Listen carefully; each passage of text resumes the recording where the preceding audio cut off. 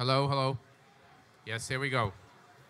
So we are about to begin. Everybody, please um, come in, take seats if you're going to.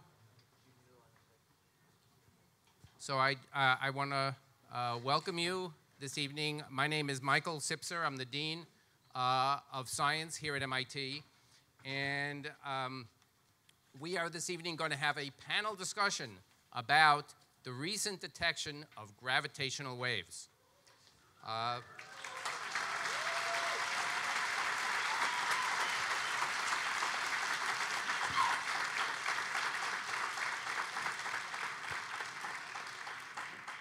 these were predicted to these were predicted to exist 100 years ago by Albert Einstein. So this is a his. Oh, oh, first, I want to. I'm told I need to thank the LSC. Um, uh, for jointly hosting this event with us. Um, I think they own this room on Friday night, so we're very grateful to them for uh, letting us use it. Um, and so I want to say this is a historic moment for science.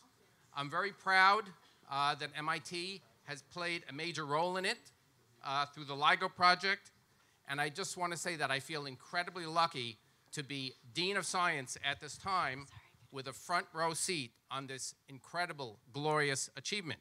Um, in fact, I got a little bit of a preview of um, the, uh, the news of the, of the detection uh, a, little, a little bit before the actual news release because it was embargoed. As you know, the detection occurred in September and was only uh, released until, uh, only released, um, uh, had the news released uh, recently. So now, before I take my front row seat uh, here in the, in the front. Uh, I want to introduce Jackie Hewitt, who is uh, here with us. Who's, Jackie is a professor of physics and the director of our Kavli Institute for Astrophysics, and she will introduce the panelists for us.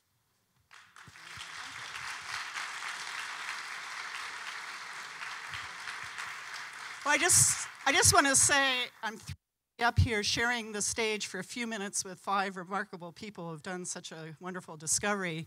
I'm only allowed a few minutes, and so I thought I would use that time a little bit about the people who've been involved in this. If you look at the paper that was last week. It's published by the LIGO Scientific Collaboration with something like a thousand authors. And this just tells you what a complicated, difficult business this is. You need people who understand general relativity. You can people who can solve the equations, and it mostly has to be done numerically to write the software, to pull out the signal and write the papers, et cetera, et cetera. But I want to say within that LIGO scientific collaboration, there's a very important core to the experiment, and that's the LIGO laboratory. And these, those are the people who are here today, at least the MIT part.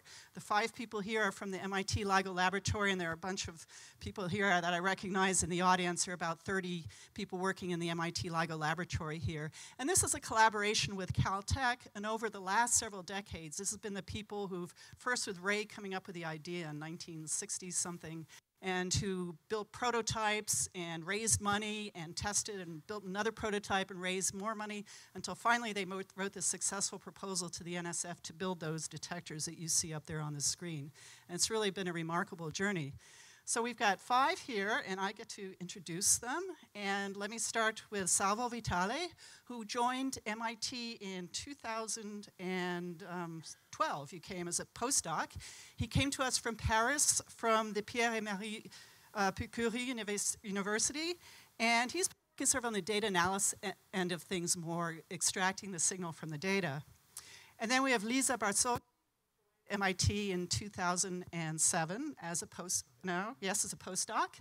And she's now a principal research scientist. She got her PhD in Italy working on, the, on a European sort of version of LIGO, a gravitational wave detector called Virgo, which will soon also be operating with LIGO. And then next to her, we have Matt Evans, who also came to MIT in 2007. He actually got his PhD at Caltech working on LIGO, and then went to Italy for a few years to work on the Virgo detector, and then came to MIT to continue the LIGO work. He is now on the faculty, of the physics faculty. Uh, farther down the line, we have Ed Bertschinger, who came to MIT about the time I did, longer than I care to remember at this point. And um, he's a theorist who works on cosmology, gravitation, general relativity, that sort of thing. So he's helping us understand these signals that are coming out of this instrument. And last but not least, the gentleman at the end of the row who uh, has been is almost a lifer, not quite. He got his bachelor's degree at MIT, his PhD at MIT. Then he managed to escape to Tufts and Princeton for a few years. And then he came back on the faculty in 1964. And as I understand it, when he was teaching general relativity here in 1967, he had the idea for this laser detector that might uh, detect gravitational waves someday. So it's just thrilling that it happened. And Rai's the hardest working retired person I know. He is. He's still working on the detectors, fixing the vacuum system. Is that the thing? Yeah. Okay. so, I will now, Rai is going to be moderating the discussion this evening, so I now turn. Thank you. Thank you very much, Jackie. Yeah. Yeah.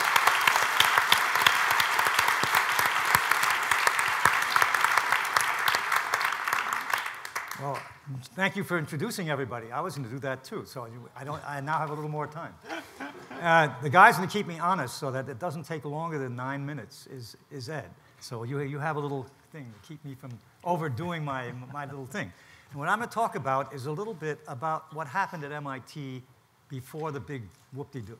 In other words, uh, before this thing really turned into a monster project. And uh, mostly I want to, I want to show you some slides, but what I'm trying to get at if in case I lose you, is the fact that this was strongly influenced. The whole project was strongly affected and influenced by education here. The undergrad, you'll see this in a minute. Education was very central to this, and I'll show you in a minute why. So, the first slide I'm going to show you is where it took place. So, let me do that by doing this. Is Building 20, which is sitting sort of in a cemetery, uh, that, but it's where. close to the building. Okay. And we were, this is this building in about 1986. You can see kind of shabby. It's full of asbestos. And down in this corner right there is where the lab was. Right there at the intersection of Main Street and Vassar Street.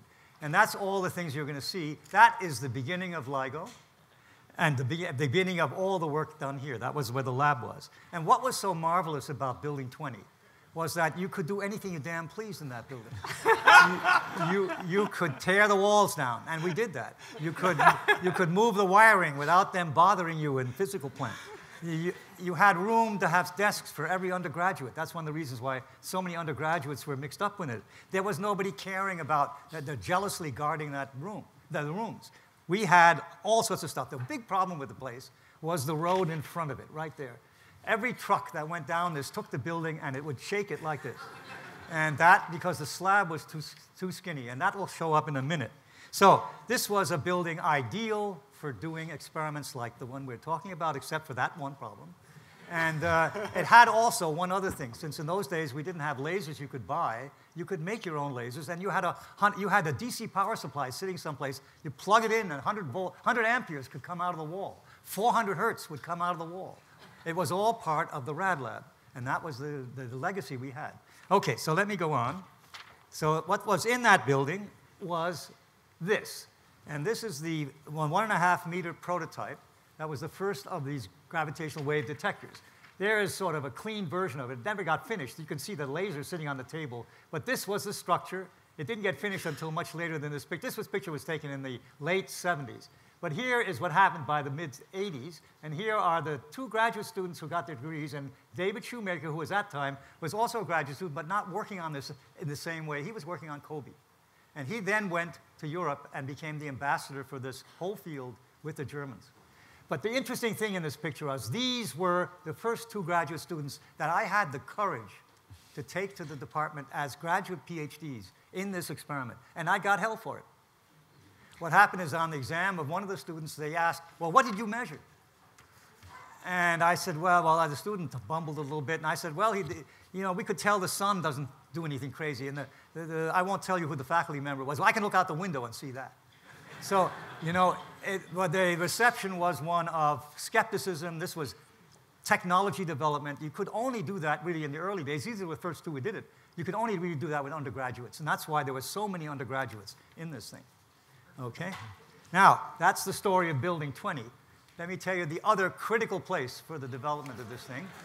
Uh, how many of you know the F and T?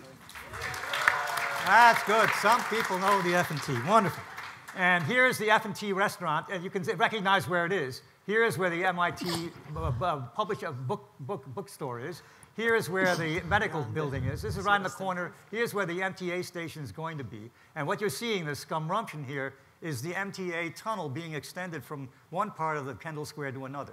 But there are the two owners of the, of the restaurant, and where all of this got invented.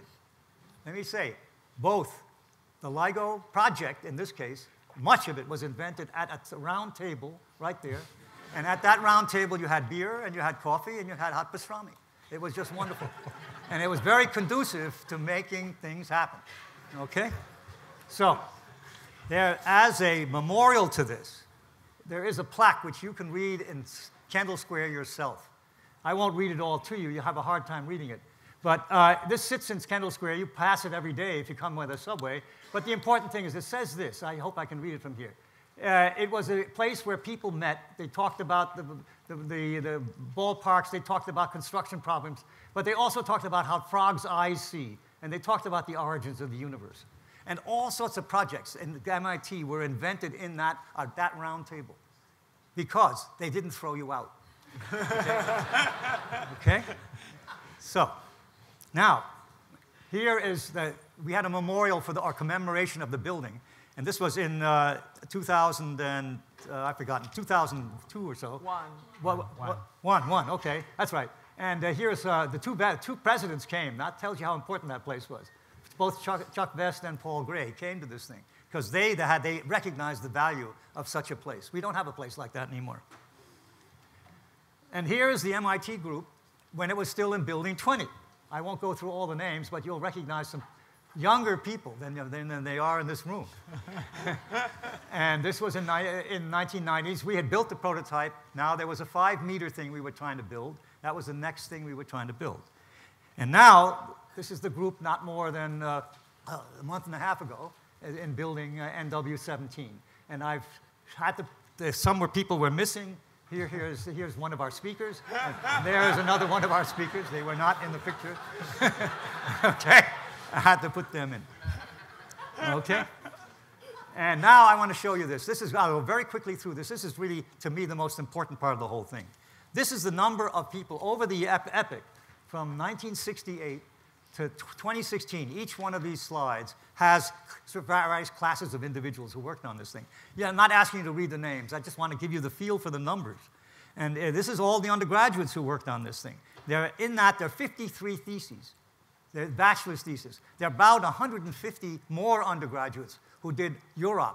This is with all of us, by the way. I'm including everything that happened since, you know, not just the, the early part, but also what happened ever since we have more people, on the, uh, more faculty on the thing. So that we, it was really an undergraduate heaven. We trained an awful number of undergraduates, many who turned into graduate students. And uh, so let me see if I can get this thing to work. Yeah, here is a list of graduate students, and there are about, in that picture, there are about 33 PhDs and about six master's theses, okay? And uh, then there are postdocs and staff and so forth. That I don't want to count those, but, and finally, there's support people.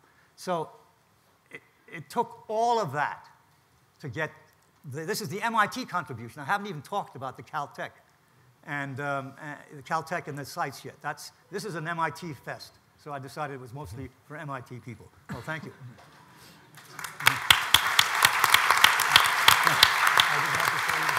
You didn't have to use it. Good, and I will use it.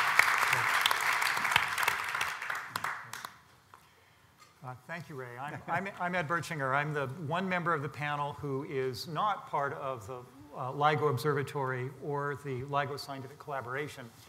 Um, but I am a theoretical astrophysicist who um, has taught general relativity and has worked with um, a number of the um, LIGO group here, both in education and um, with some tinkering around the edges of, of research. I, I, had a detour a few years ago when I became the physics department head, and that interrupted my pathway into the LIGO scientific collaboration.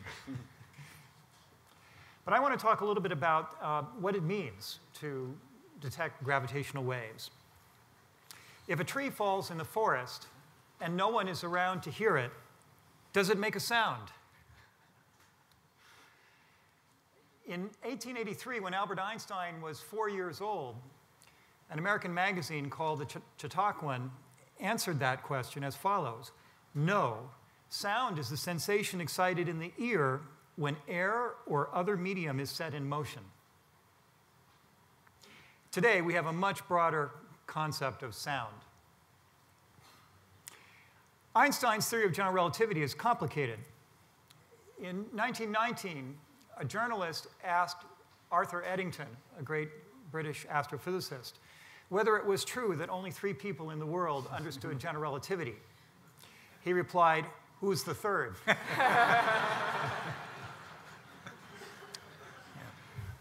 As a graduate student in 1979, taking general relativity for the first time at Princeton University, I wondered the same thing. Today, MIT undergraduates take 8962, and we can find the Einstein field equations printed on t shirts. and so I'm going to share with you.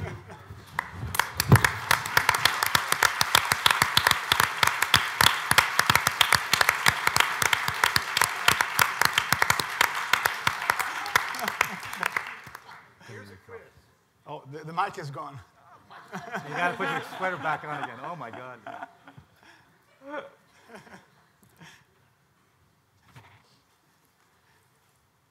Okay, we got the joke. Here's a quiz for all the 8962 students in the, in the audience. What's my problem? this, by the way, is a t shirt that I purchased from the Coop this afternoon. and here's my problem.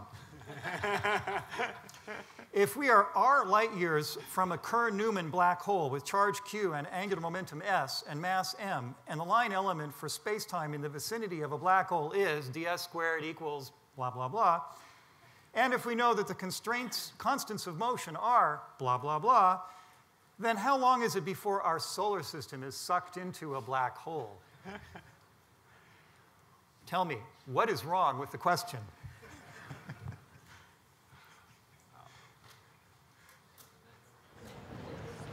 The experts are nodding their heads. The solution is wrong. the part that I've circled is nonsensical. It's not a black hole, it's something called the metric of flat spacetime, which is exactly the opposite of a black hole. the point? Besides the recognition that the COOP needs more MIT alumni on its board,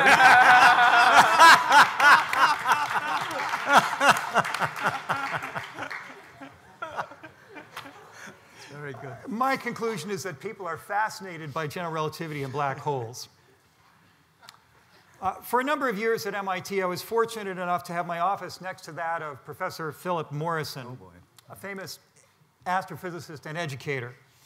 Uh, Phil was famously skeptical about the existence of black holes, and he often poked holes in the evidence collected by my colleagues.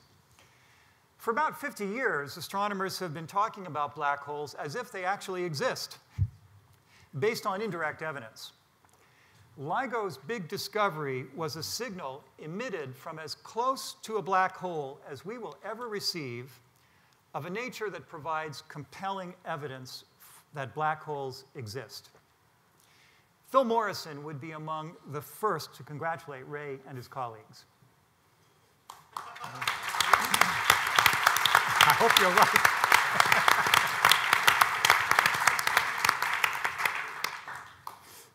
Why did astronomers think black holes exist? And what did they know about them before the LIGO discovery? Astronomers have long known that massive, compact objects exist in the universe around which orbit debris disks, often from stars that wander too close and get tidally uh, distended. And they studied these debris disks using optical telescopes, radio telescopes, X ray telescopes, using light or electromagnetic waves. Astronomers have deduced that there are two kinds of black holes distinguished by their mass. Some of them were deduced to have masses less than about 15 times that of our sun. And they were understood to be the remains of massive stars that collapsed upon themselves after they exhausted their nuclear fuel. Other black holes had masses of millions or even billions of times that of our sun. They reside in the centers of galaxies and are thought to have been born along with their host galaxies billions of years ago. While the evidence for a lot of mass in a small volume is strong in both cases, astronomers could not see close enough to the black holes to be sure that they weren't something else. They couldn't pass the Phil Morrison test. The black holes are simply too small for our telescopes to make pictures of their surroundings. GW 150914, that's the name of the new black hole, is a case in point. To see light passing close to the black hole would require a telescope capable of, capable of resolving 10 to the minus 20 radians. Mm-hmm. While the current best technology has a resolution 12 orders of magnitude worse. I know one physicist who's not afraid of 12 orders of magnitude and 10 to the minus 20.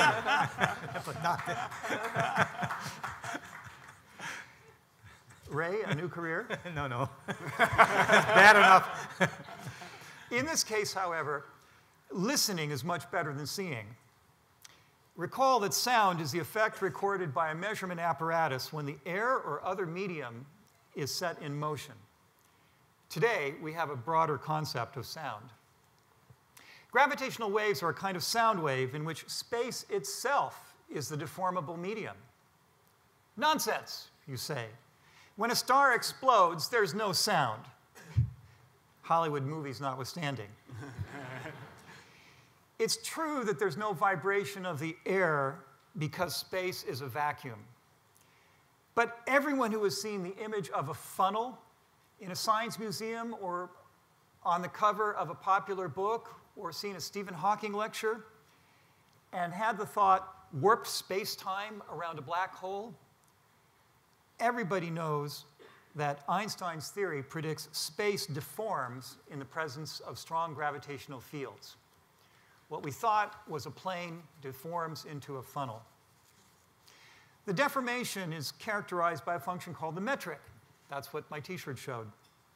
In fact, Einstein's theory says that what Newtonian physics describes as a gravitational field, taught to thousands of undergraduates in this very room, is really force free motion in the metric of curved spacetime. What exactly does Einstein's theory predict? That's a really good question. Einstein's equations are a system of strongly nonlinear wave equations that are notoriously difficult to solve. In fact, in the 1990s, Kip Thorne of Caltech challenged the community on whether the waveform of a black hole inspiral would be first measured or calculated. Rai, the experimentalists came in second. I know they did. and I'm glad that they did because that allowed us to deduce exactly. more from their discovery. A few exact solutions of Einstein's equations are known, starting with the Schwarzschild metric discovered just over 100 years ago. Amazingly, the Schwarzschild metric describes the simplest kind of black hole. Einstein himself never believed the implications of his own or Schwarzschild's equations. In 1964, Roy Kerr obtained a metric we now know describes a spinning black hole. And we know it because LIGO measured it. Around the same time, John Wheeler of Princeton coined the term black hole, and he began pushing, shoving, cajoling physicists outside of their comfort zones with his enthusiasm for all kinds of exotic physics. Rai will tell you lots of stories about that. Wheeler practiced a philosophy that he called radical conservatism, whereby he asked, what if we really trust the equations, even in the most extreme circumstances? That strategy has proven effective over and over in physics, and not only among theorists. The experimenters here have used it to good effect.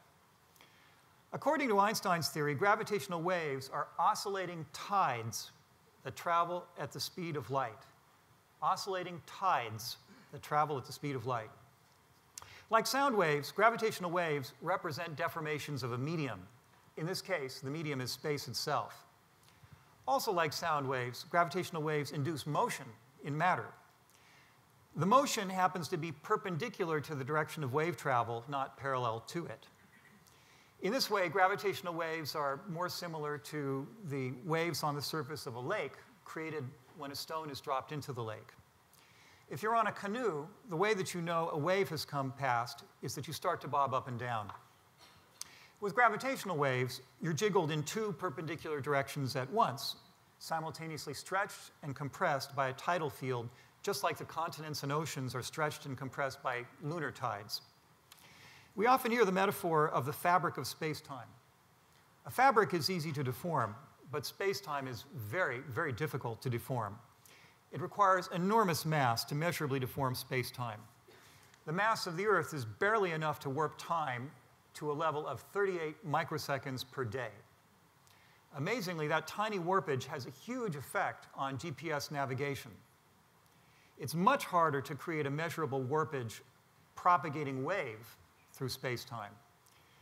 The conversion of three times the rest mass energy of the sun into gravitational wave energy produced a tiny warpage on Earth, and it was measured.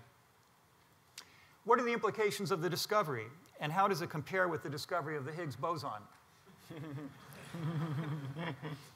LIGO was not constructed to discover gravitational waves, it was built as an observatory.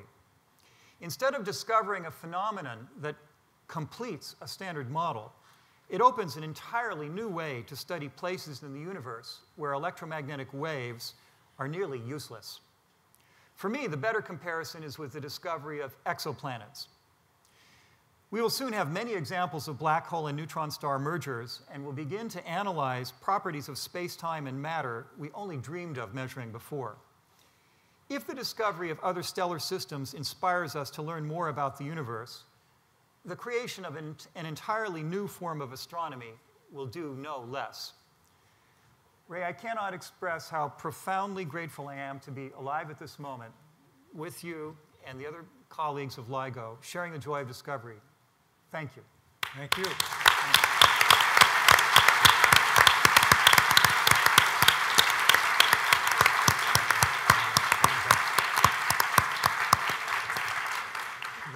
Thank you. I, I stand, uh, unlike my colleagues. It's going to be easier because I, I actually do have slides I want to point to. Thank, well, first of all, thank you for being here.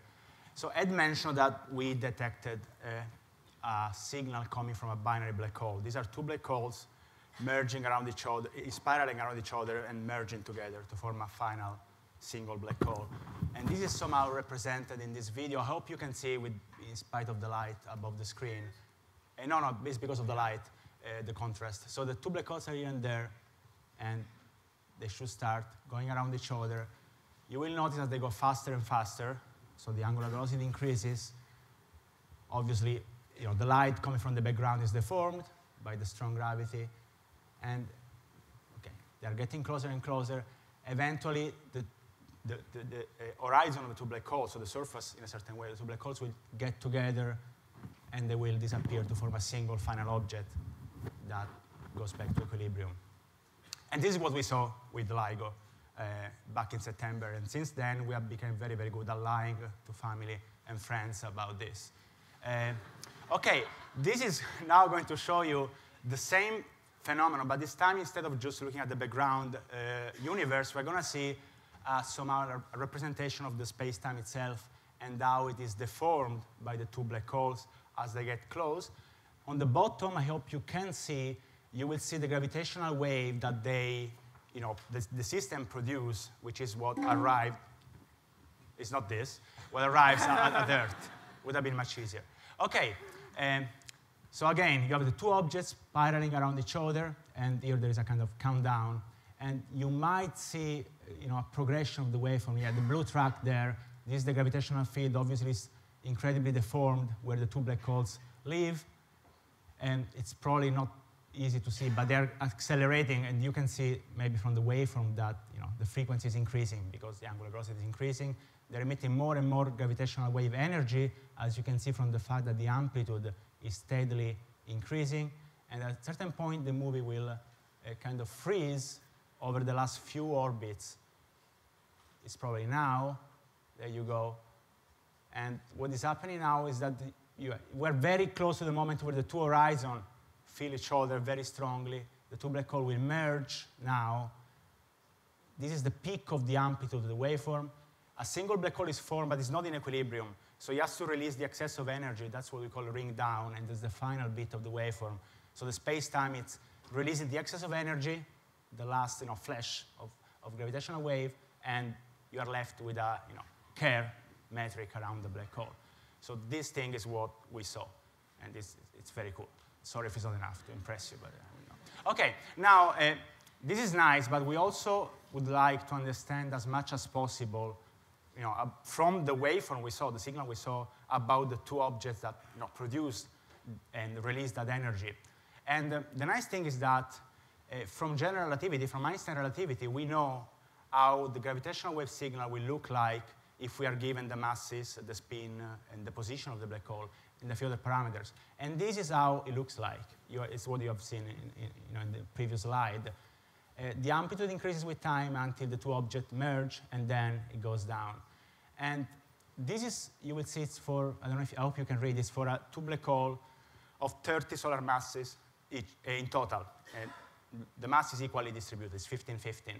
Now, the way we measure the mass of the two black holes, it's because if the mass were different, or the spin were different, the waveform would be a bit different, or very different. So by looking for the waveform that matches best the data we have, we can infer the properties of the black hole. And for example, if in the movie that you are about to see, you will see the black hole increasing their masses, and you will see how the waveform changes. You will see that the amplitude increase, so the same way when you pile up more charges, you know, the, the electrical uh, field is stronger, the same way when you pile up more mass, the gravitational field is stronger. And uh, you probably will not see this, but the waveform gets also shorter and shorter. And uh, there will be sound. We have been inspired by this uh, cartoon that come out in the New Yorker. It's two sharks going around each other and producing waves, okay? And obviously, if the sharks are bigger, the waves will be bigger. So that's how the music got picked. I hope you will enjoy it as much as we did.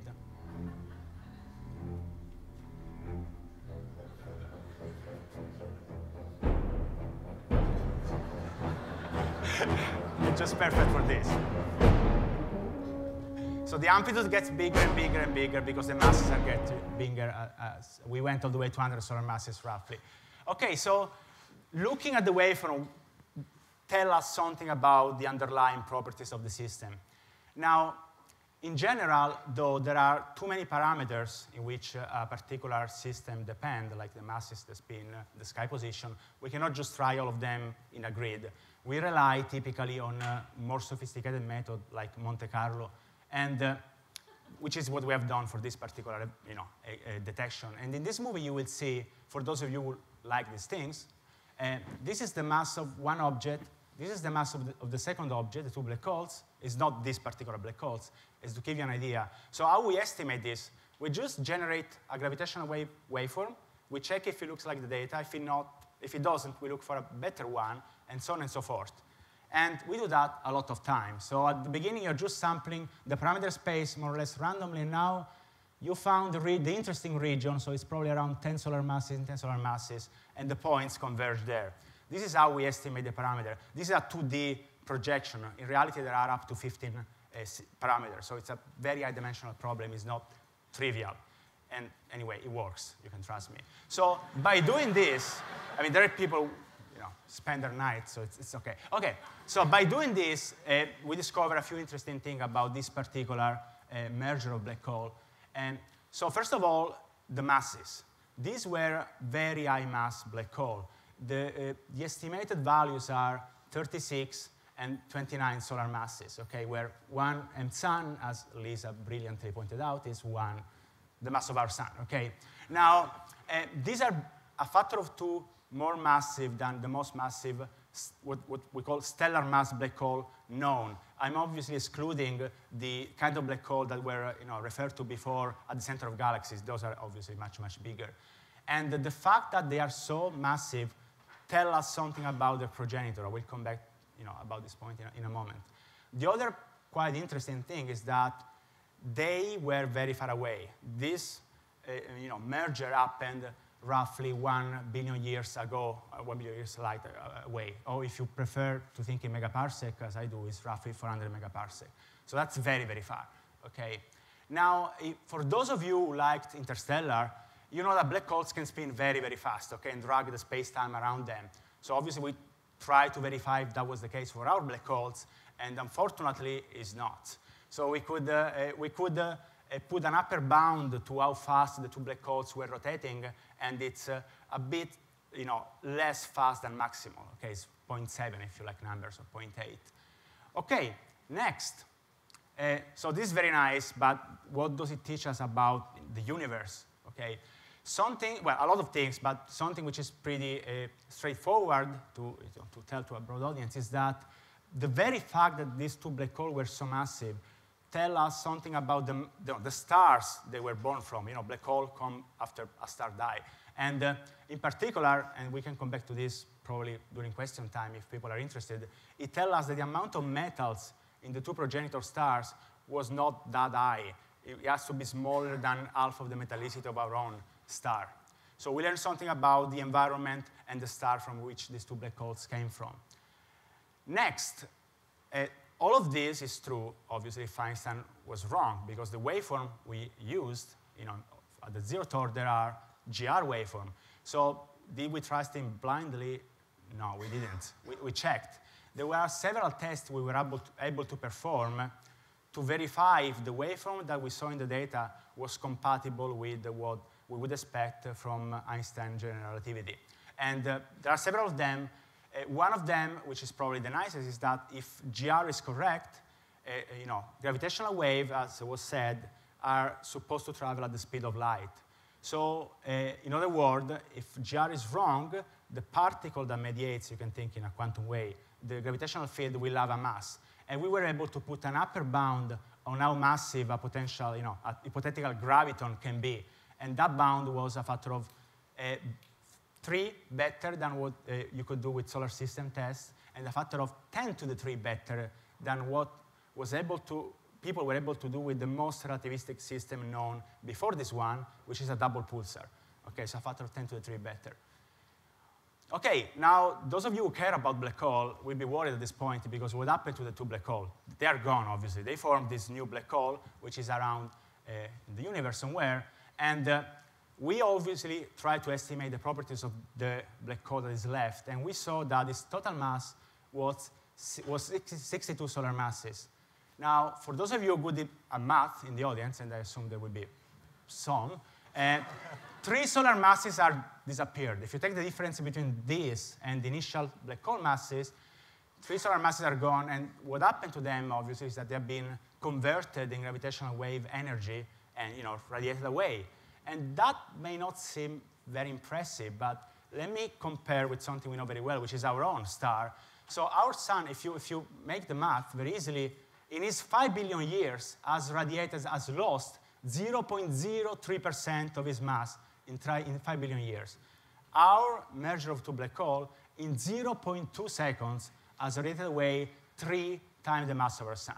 So this is a huge amount of energy. During this amount of time, this 0.2 second, the, the energy emitted by this system was larger than the you know, electromagnetic energy coming from the rest of the universe combined.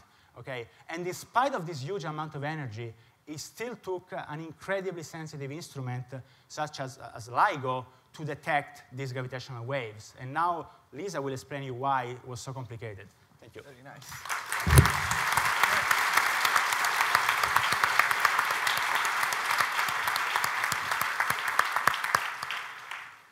Okay, thank you very much for coming. It's, it's really great for me and for all my friends who have been working on this for so many years to see that so many people care. So it's really rewarding. okay, so my job is to explain why it took Rai Weiss and many of us nearly 50 years to actually detect gravitational waves if gravitational waves are associated with such incredibly energetic events why is so hard.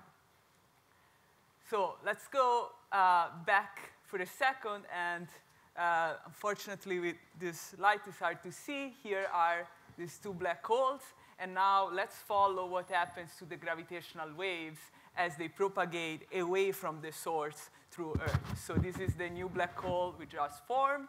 Gravitational waves propagates away from the source and go through space. And so, as we said, they modify the space around them. And once they reach the Earth, that's our chance to detect it. And now, this video is actually very, very, very much exaggerated the effect of this wave.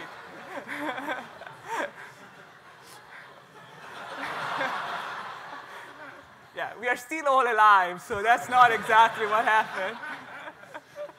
But you get the point. So as we heard earlier, so let's look at this in a uh, slightly more realistic way. So what happens is the gravitational wave propagates here. So it goes, the direction of, propagation is through this tube. And so what, what it does is that it stretches and squeezing space around it in the, in the plane is perpendicular to the propagation of, of the wave. So you can imagine that if you can put some masses that are free to move, and those are represented by these red dots here, you could actually measure this effect. So you, you take one of these circles, it's here, and when the wave arrives, you see one direction is stretched and the other one is, is squeezed. So if you want to do this a little bit more um, quantitatively, so what you want to measure is the effect of the wave. So how much uh, these, these free masses have been displaced, which is this delta L here. And the effect is actually a strain over the distance of this, of between these test masses. So the, the basic and the, the very basic formula that you have to keep in mind to understand this phenomenon is that the uh, displacement of these masses over their separation is h, where h is the amplitude of the wave that, uh, that Salvo just described. And now, all the problem here is that this amplitude of the wave is very, very small. It's 10 to the minus 21, is 1 with 20 zero in front of it. So it's very, very, very, very small. and so you can look at this in a, uh, you know, you can move this formula around. And so for us, what, what matters is how do we measure this displacement delta L induced by the wave. And you can see here, you know, you cannot do anything about H. That's small, that's nature. We, we can't control that. But what we can do to make this delta L as big as possible is to put these masses far apart. And so make L as long as possible.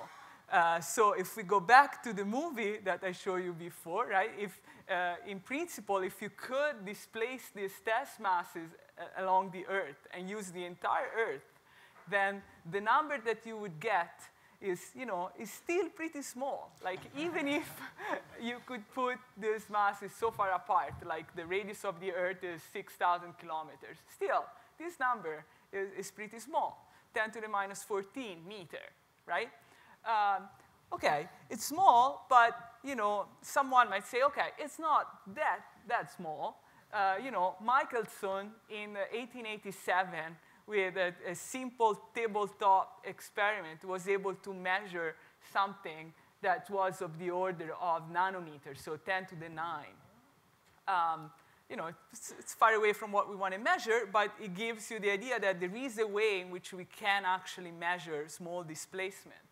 And so 10 to the minus, you know, 5, 10 to the minus 9, it's hard to grasp, but what we have put here is the hydrogen atom. And so the size of an hydrogen atom is 10 to the minus 10 meter. So that will give you the scale of, of what we are, we are trying to do. So how is that a Michelson interferometer actually works and how is it sensitive to gravitational waves?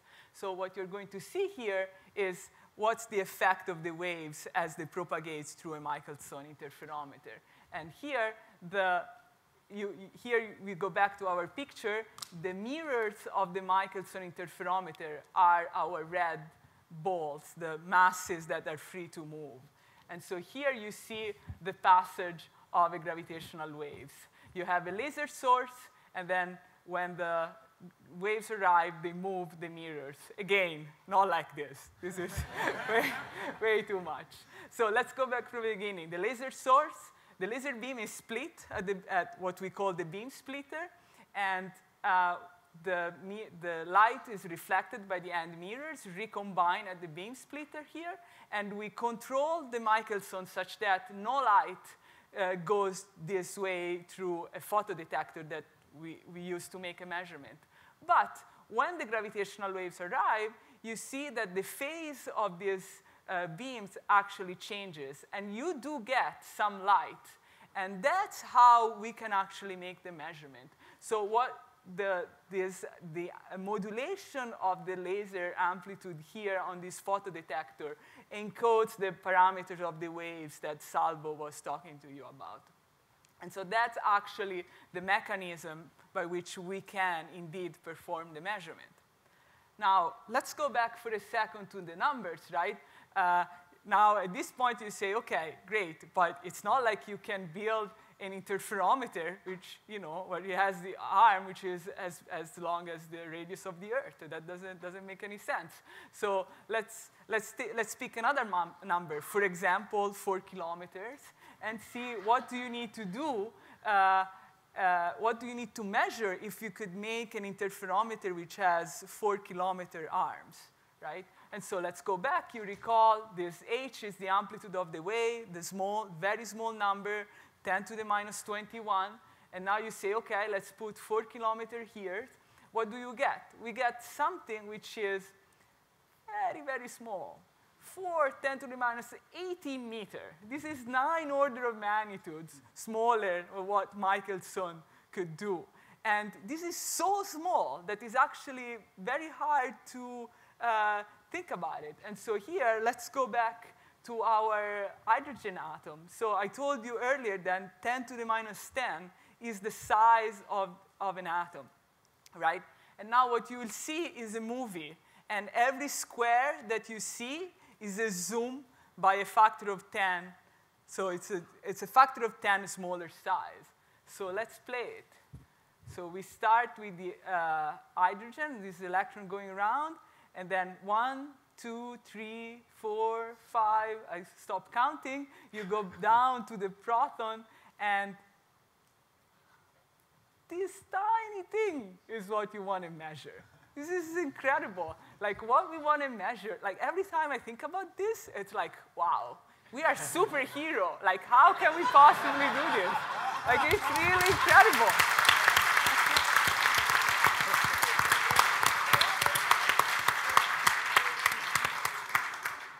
Sorry, that wasn't planned, but right. So the point I was trying to make is what we want to do is really, really difficult.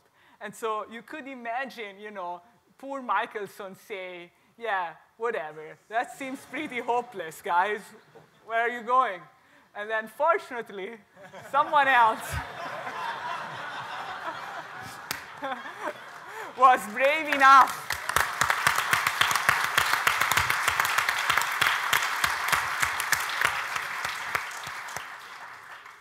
Okay, and so, uh, and now we're, we're here today because Rai Weiss and many other people for 50 years actually worked really hard to make this measurement possible. So now let's go back and, and, and, and look at what the LIGO uh, interferometers look like. So, uh, you know, we have two uh, four kilometer interferometer in the United States. One is in, located in Washington State, the other one is in Louisiana, the opposite side of, of the country. Um, if you go to the site today, the first thing that you would see is this four kilometer, there are two, you'll see these two uh, four kilometer cement tubes. This is actually me standing on top of it to give you a sense of scale. Uh, the laser beam actually travels in a tube which is inside this one, and it's 1.2 meter uh, diameter. If you walk inside this building here, uh, where the beam splitter, the uh, sits, you would see, I'm sorry this is uh, kind of dark, uh, it's hard to, hard to say, but here there is the vacuum system where we put our mirrors in so they don't get disturbed and they can act as, as, as free masses. There is a guy here who is two meters tall, and this is, uh, you, you, see it like uh, very, very big. Okay, so if you could actually look inside the vacuum system, you would see something that resembles the, the simple Michelson interferometer that I showed you uh, earlier. So we have here a very powerful laser that we can use. And um, what we do is actually we use several, uh, we call it tricks, are actually uh, very co complicated technology developments in such a way that we can actually amplify the light that is circulating in this interferometer. Because the more light you have, the more you essentially amplify the effect of the wave. And so here it's the same picture that I showed you before. Uh, once the gravitational waves arrive and, and, and interact with the interferometer, what happens is that this mirror moves and you get a signal here. And we use a, a photodetector that converts the light that is there, that arrives on it, in current, and then we send this current through a resistor, and we make a voltage out of it. And uh, this, this signal is then, you know, it's voltage, you can send it in a speaker, uh, and because uh, LIGO operates in the audio band, you can actually listen to it. And the other important piece of it is that, of course, uh, you know, this, this signal here has both the noise of the interferometer and the gravitational wave signal on it. So that's the combination of the two. We have no way to distinguish, right? Okay. Um, so I told you uh, advanced LIGO operate in the, in the audio band. And so the nice thing about this is that we can actually listen to gravitational waves as they are converted in this signal by our interferometer. And so now I'm going to play um, this, this, this movie. Um, so first of all, I just listen to it without caring too much about what's displayed, and then I will explain what you're actually seeing. So for now, listen to it. So you will, what you will hear is the sound of the gravitational waves converted by the interferometer for the event that LIGO observed. You, you will hear it twice, and then since it's kind of hard to hear for, uh, for humans at that frequency, it's shifted up in frequency uh, so that it's easy, easier to hear. But you know, there is only one, one event that we detected. We, we played it four times, but it's, it's, it's only one. That's the second.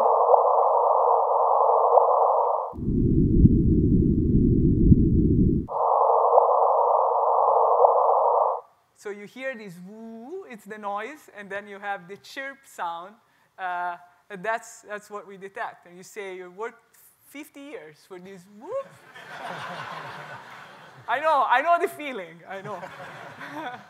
so let's now look at this, at this plot. You have time in the x-axis and uh, versus frequency. So uh, these two signals here are the signals produced by, the, by the both interferometers. The top is the one in Washington State, the other one in Louisiana, as, as a function of time. While these other uh, curves here are actually um, time, uh, it's actually the frequency of the, of the sound that you just heard. And you see that they have this uh, particular feature that the, the, the, the signal increases in, in frequency.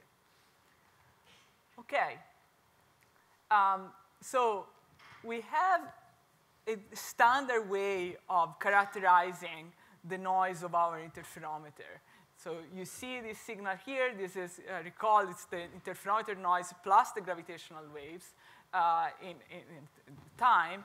What we, the way in which we like to, um, to look at the noise of the interferometer is actually in the frequency domain. So here you have the noise of the interferometer uh, calibrated in strain uh, as function of frequency. And these two curves show you what was the noise of both the, uh, the, two, detect the two LIGO detectors at the time of the black hole merger. And what you can see here is that uh, first of all, the frequency is in, you know, around 100 hertz, so it's something that indeed we can hear. And the noise in the two instruments was pretty comparable, pretty much, pre pretty much the same. Uh, and now Matt will tell you more about how we characterize the noise of the instrument. Thank you.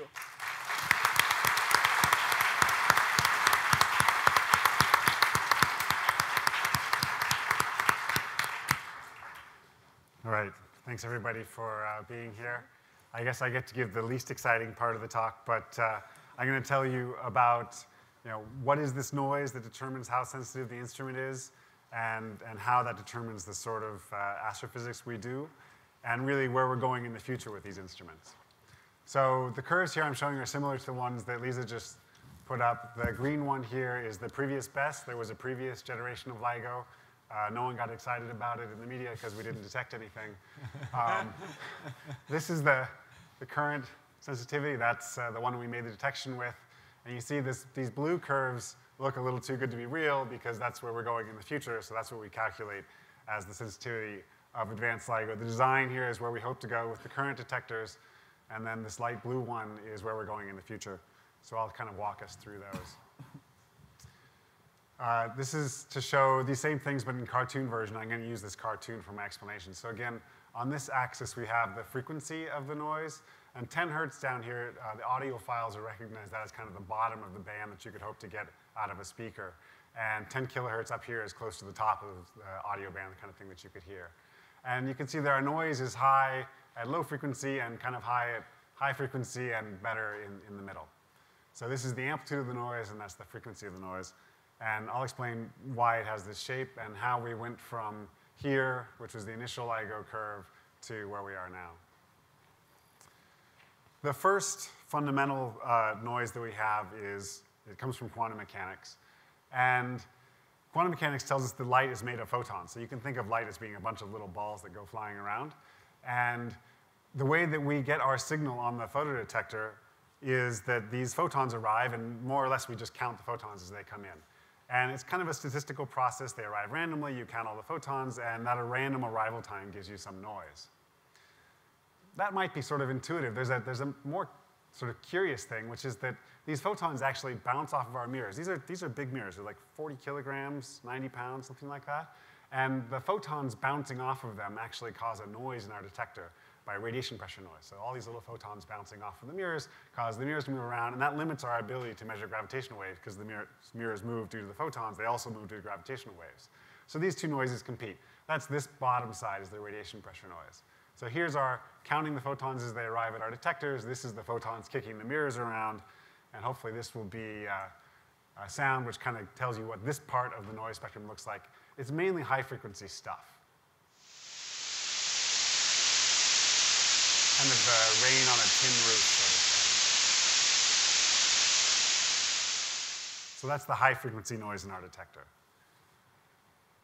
The next noise is something we refer to as thermal noise. And this comes from the fact that our mirrors are made of some material which is not at absolute zero temperature. So all the molecules in the material are sort of wiggling around. And when you try to measure the position of the mirror to an accuracy which is this horribly sub subatomic, ter terrible thing, you might say you couldn't possibly do that. All the molecules are wiggling more than that. But we make the laser beams really big, and we average over a lot of these molecules. And it's that averaging which lets us beat down the noise and have good sensitivity. So that's our thermal noise. That's this part of the noise spectrum. And that comes from the molecules wiggling around. You call it Brownian motion. It sounds kind of like this. It's lower frequency components, more of a stormy sea kind of sound. And at the very bottom end, uh, we get a lot of questions about like, how do you know it was a gravitational wave and not just the red line? Or some pickup truck, or maybe someone kicked one of the vacuum chambers and the mirror moved. Like, how can you tell the difference? Uh, we work really hard to isolate the mirrors of the interferometer from ground motion. We call it seismic motion, but it's any sort of vibration coming in from the outside world. I'll show you some pictures of the isolation systems. They're very large, they're very impressive, they're very expensive. And what they do is they cut off all of these vibrations to keep that noise down at low frequency, so out of our band. And it's just a low frequency rumble that you might have heard in the sounds that Lisa played. So this is a lower frequency than the thermal noise kind of thing, just this rumbling in the background. To be perfectly honest, I had to move that up in frequency a bit, because if it was really 10 hertz, you just wouldn't hear it, right? So I pushed that one up a little bit so you could get something. Okay, so now that you know what the fundamental noises are in the detector, I can try to tell you how we got from our previous best to where we are now and where we're going in the future. The simple way to put this, Norge said this very nicely at the press conference, is we got better everything, better everything in advanced LIGO. And what that means is that the ground vibration has to now go through these enormous seismic isolation, isolation systems. The top picture here is uh, the active isolation system. And this thing is, what, six, seven feet across, two meters across? And that's all one big piece of aluminum. Like, how do you even get a mill that big? The thing is enormous. And so our isolators are these huge aluminum blocks that are all bolted together with a bunch of seismometers, and we use those to measure the ground motion as it's transmitted in and then push on the things to try to keep it very still. This then has to go down through a chain of passive isolation, so it's a bunch of masses and springs kind of thing, and eventually it propagates down through this and gets to our mirrors.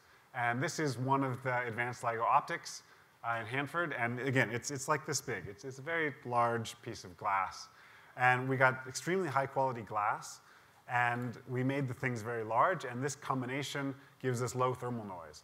So the quality of the glass tells you how much of the noise couples into your measurement, and the size of it is how much you can spread out your laser beam to try to average over the surface. The last feature here is our big scary laser, and we got like 10 times more laser power for advanced LIGO. And you, you wouldn't want to you put your hand in it or anything. It's, it's a very bad idea.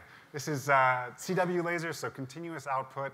And the laser itself is putting out about 120 watts. You know, 120 light, watt light bulb doesn't sound very scary, but if it's all in a little laser beam, it's, it's, it's uh, yeah, it's a big scary laser. It, it has its own room all to itself.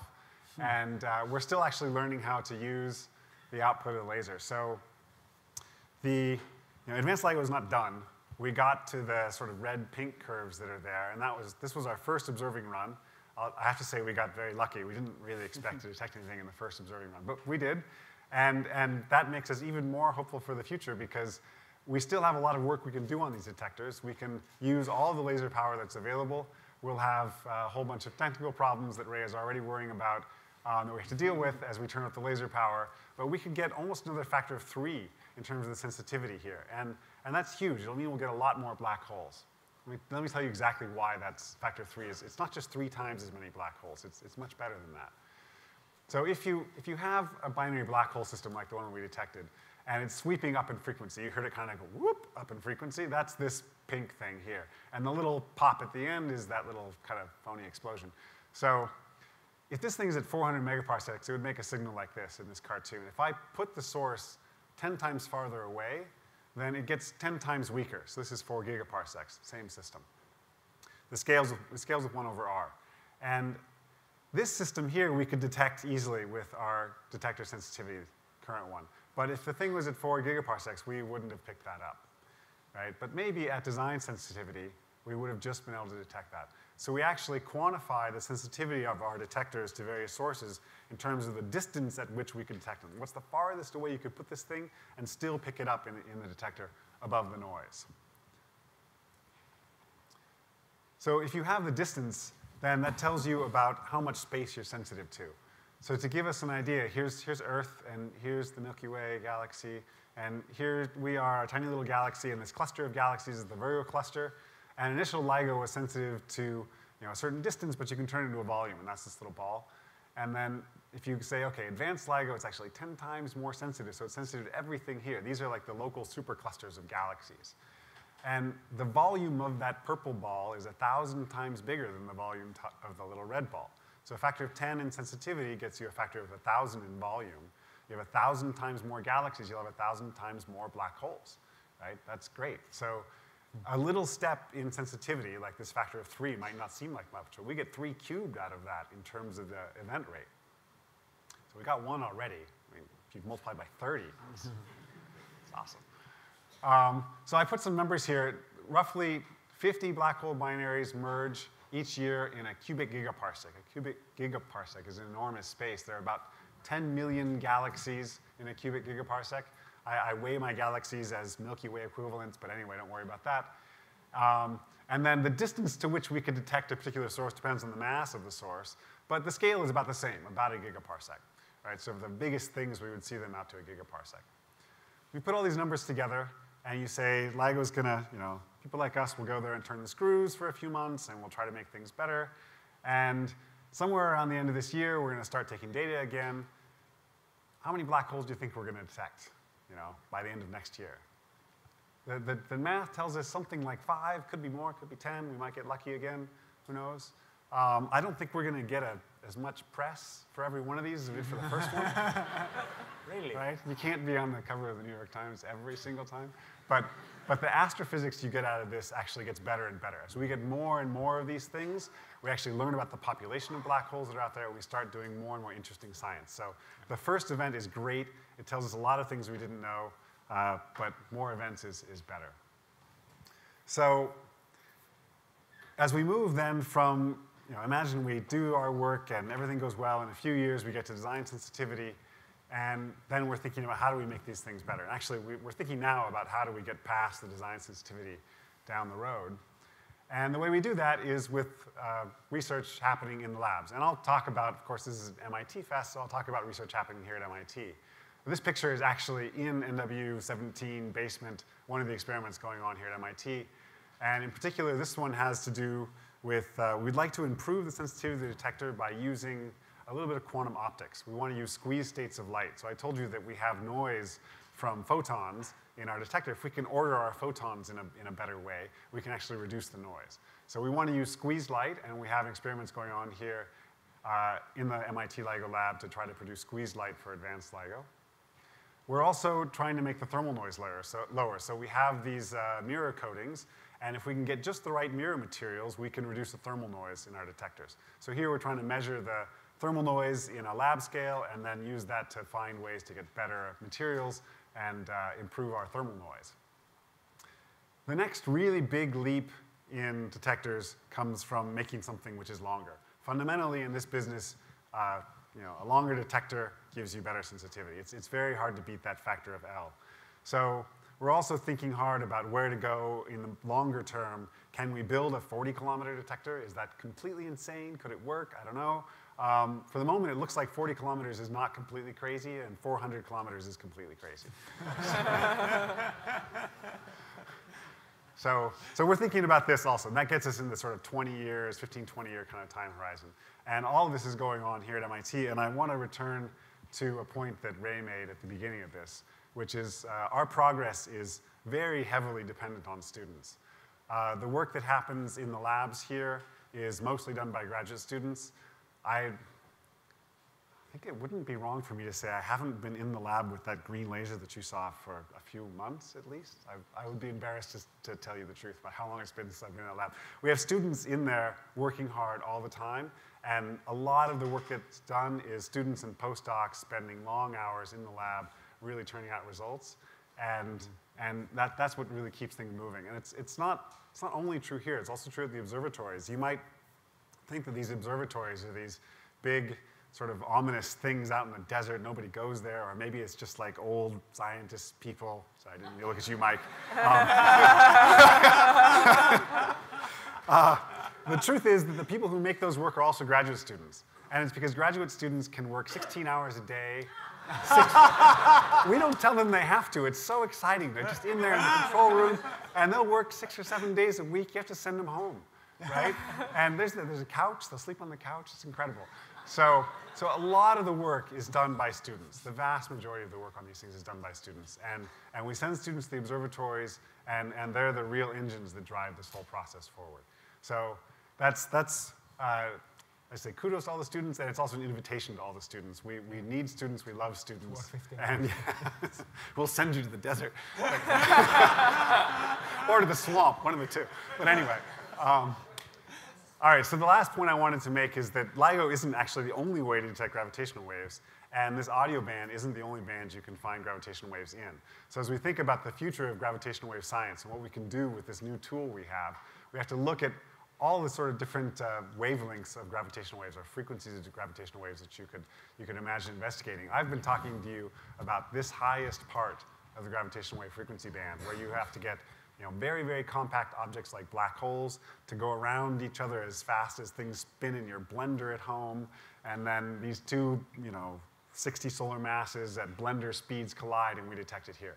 Uh, that's the top end. And you can get more and more massive things which produce gravitational waves at lower and lower frequencies. So these could be like supermassive black holes uh, as galaxies come together. You might detect those with uh, pulsar timing, for instance. And I, I guess you guys might have heard of BICEP. Um, so this is a great experiment, and it will work, and they're looking for uh, gravitational waves from the Big Bang, basically. And that's the lowest frequencies, one over the age of the universe kind of frequency. So there's a, there's a huge you know, range of gravitational wave frequencies that you could hope for. There are many different technologies that you can use to find them. This includes space-based detectors. Uh, LIGO is just, is just one way of doing this. And we happen to get there first, and we think that's great, but in terms of the science that's to be done, there's this new tool we have and a, and a great new way of, of doing astrophysics and learning about the universe. So let me sort of summarize. The, the first thing is we learned that general relativity is correct even in the strong field regime. I, I, don't think we really, really, really were sure of that until now. And, and as far as we can tell, our signal is completely consistent with general relativity and well predicted by it. So that's, that's awesome. Uh, these large stellar mass black holes, well, we didn't know how many were out there. We didn't even know if they existed. Now we know they exist, we know they exist in binaries, and we know they merge in less than the age of the universe. So that's really good news for us because we have a big signal. Um, it also tells us a lot about the universe and how things work out there. Uh, this, this third point is sort of maybe a personal one. Uh, a lot of us were working for a very long time on this, and just the fact that it actually works is really huge for us, right? you really can detect gravitational waves with a laser interferometer. And we didn't spend the last you know, 50 years trying to do something that was impossible. So, so that's, that's wonderful. It even worked before they cut our funding, so. Great. Um, okay, and then having you know, reached that milestone, I can say this is, this is just the beginning. There's a huge amount of science to do and a totally new way of investigating the universe out there. So stay tuned for more gravitational wave sounds. You'll get more of these funny little chirps and little thumps and things like that because now we can hear things from the universe and you could imagine that the, the silent movie is, is over. We've now got sounds from the stars.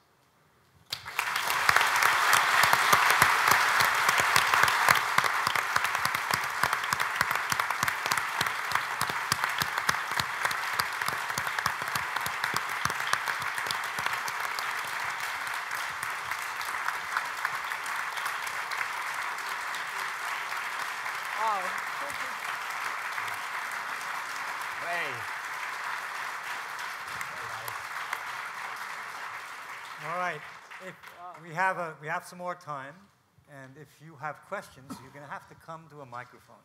Because, first of all, there are people in another place that have to hear the questions, and sometimes you can't hear the questions from the way the back room. So you got to use the microphone to be acknowledged. So go ahead.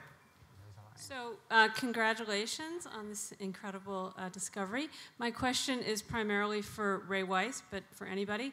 So, one of the things I've wondered about you know, over the last 50 years, a billion dollars has been spent, a huge infrastructure at the observatories, reams of scientists are working on this.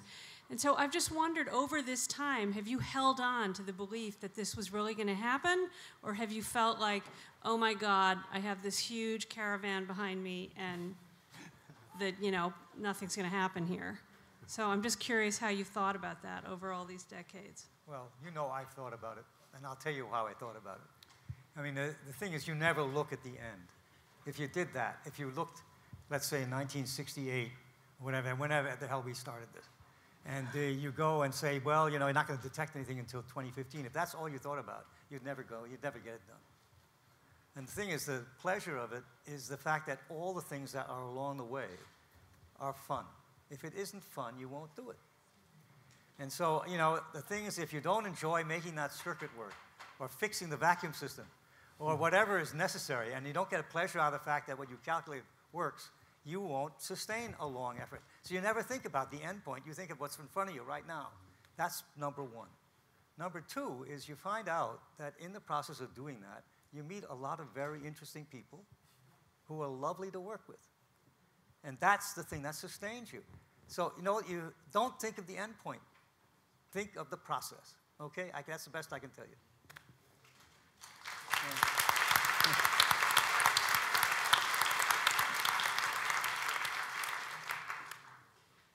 Uh, so my question is more of like a personal. We can't hear you, so get closer to the mic. I can do that. Oh wow.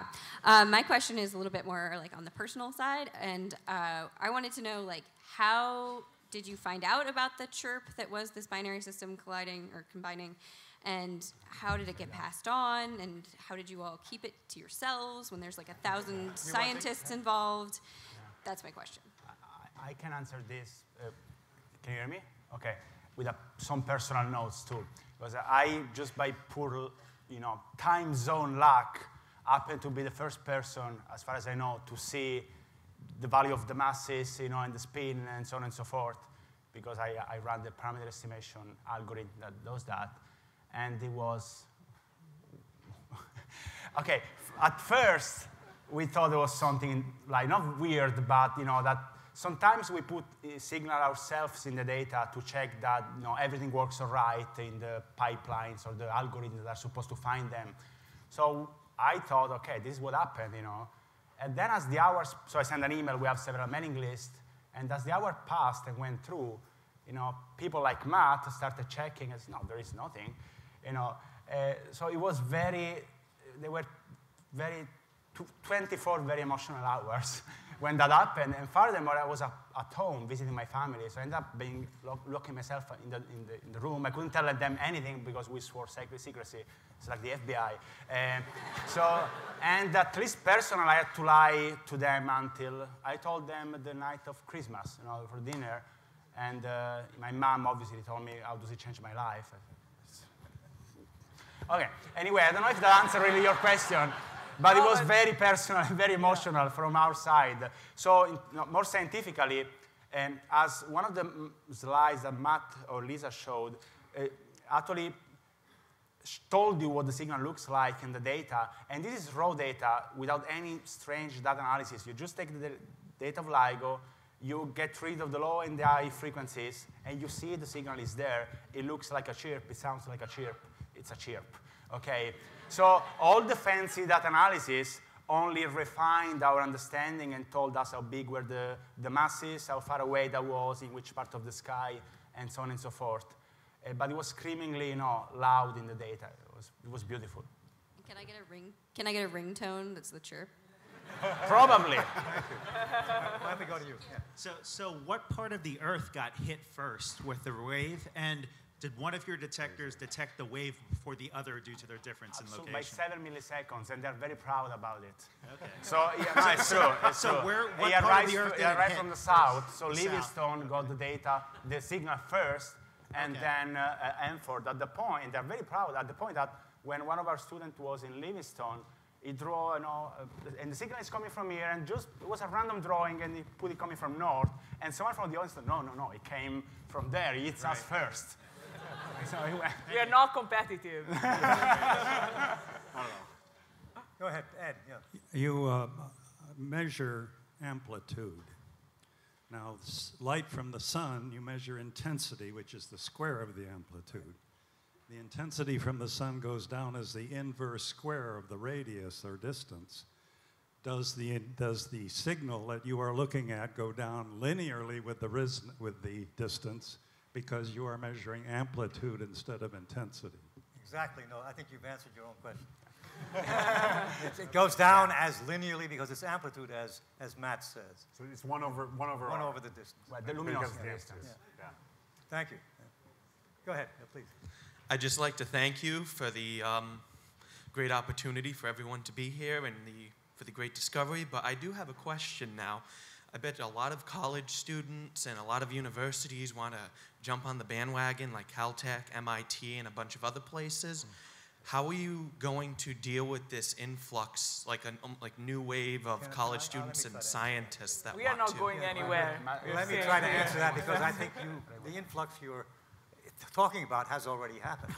Uh, we haven't made a big fuss in this room about something called the LIGO Scientific Collaboration, which is something like uh, 90 other institutions that have been working with us for many years now, since about uh, 1997, in fact. that's, that's been open to many universities, many government centers have, are part of this, and there are about 1,000 people associated with that collaboration. And I think what the thing that is so admirable is that we were able to write a paper, and the Peter Fritschel, would you stand up? Where are you? Come on, stand up, God damn it. There he is, stand up. Yeah.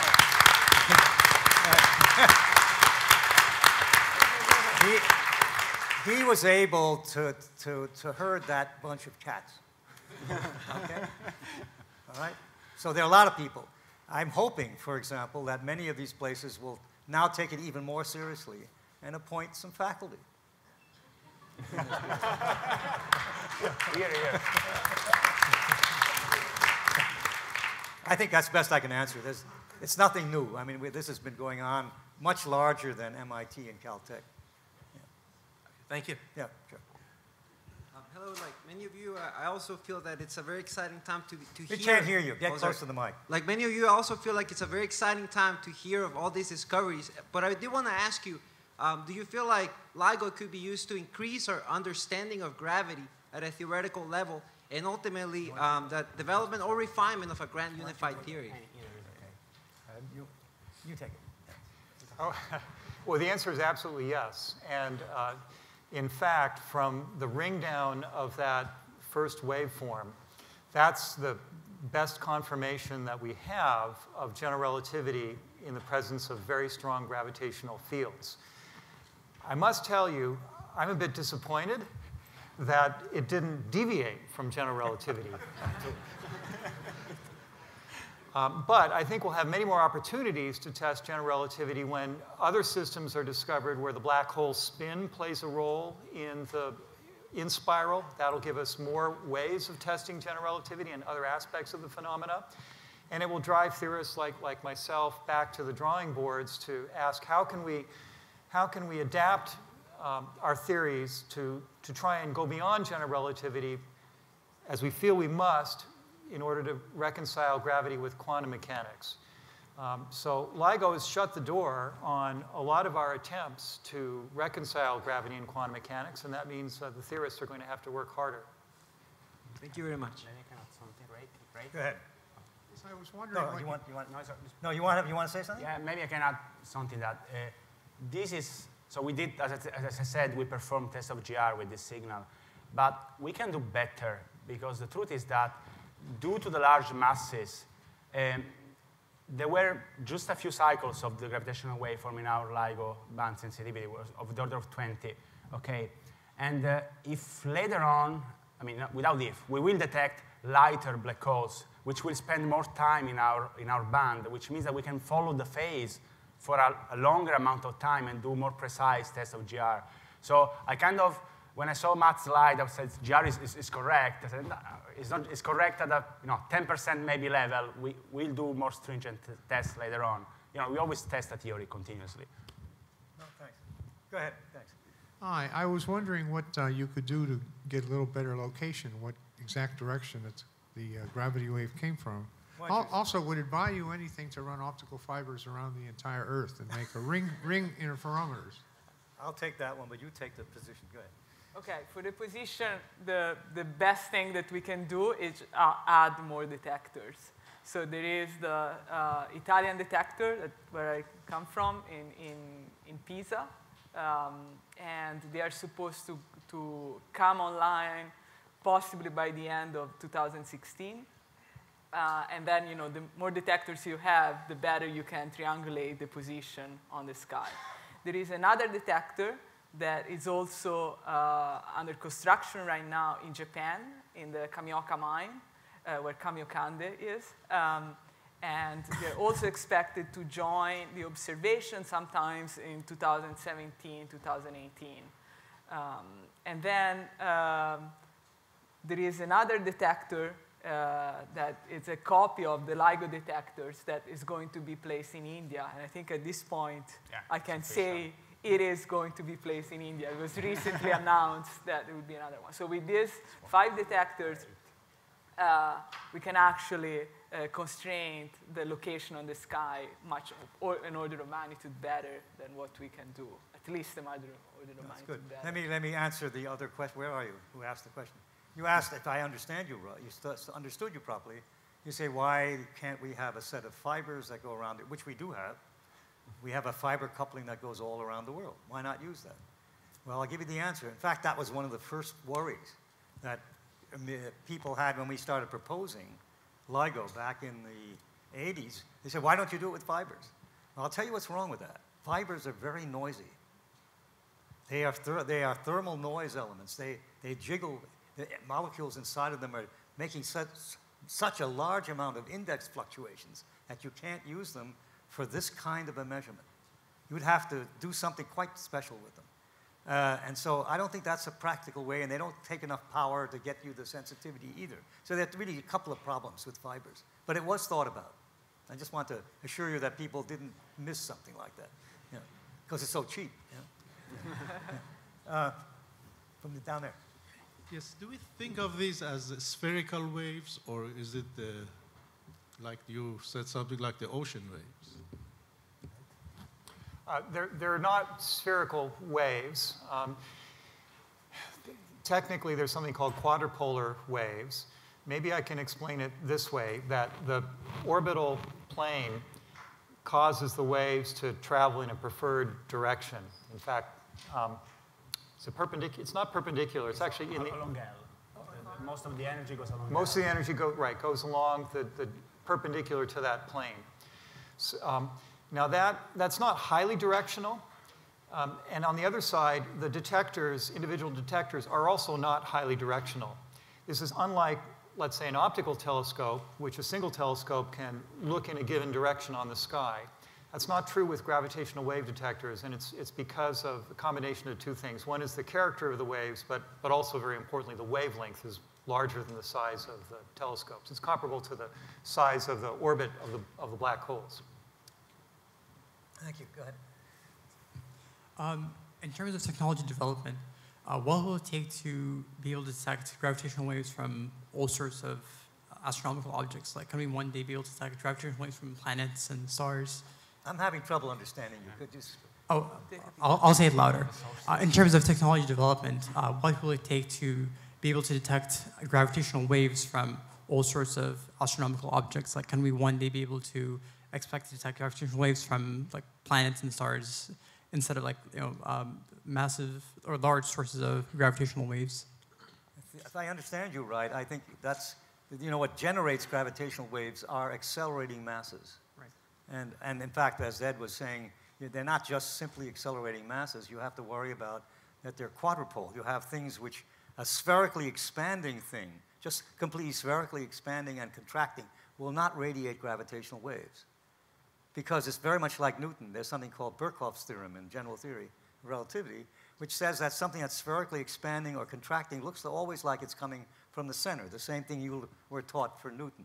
So you have to have a very special kind of motion, which is what Ed was talking about, to get radiation in the first place. And it needs acceleration, but it needs acceleration that has a quadrupolar character. Okay? Great. Can I, can yeah. I try also? Yeah. Um, so the reason why we don't get gravitational waves from planets uh, is, is because they're not massive enough and they don't move fast enough. oh, I enough. see. That's the question. I didn't. Um, and that's true especially for ground-based detectors. Uh, that we're looking for something which is a high frequency. So, like I said, these black holes were moving around each other 75 times per second. So it's close to the speed of light. So you need something which is massive, like many times the mass of the sun, and going close to the speed of light in a very tight circle. And, and if you have just like, let's say two stars like our sun, and you try to measure gravitational wave radiation from them, uh, you can't get them to go that fast. They're, compared to black holes, are like big balls of cotton candy. They just, they just kind of come apart. Uh, so if you wanted to detect gravitational waves from you know, more normal stars, you would need a space-based detector or something which can measure much lower frequencies. And even there, you still need fairly compact objects like white dwarfs or something like that to produce gravitational waves that are detectable. Well, I can add something to that. I mean, I, I misunderstood your question. I'm sorry. Uh, but the, uh, the, the, there is a project which, I, which Matt described, which will try to at least look at not planets, that isn't big enough, but binary stars not of the kind that we're looking at, namely ordinary binary stars, stars that have been known for probably at least 100 years.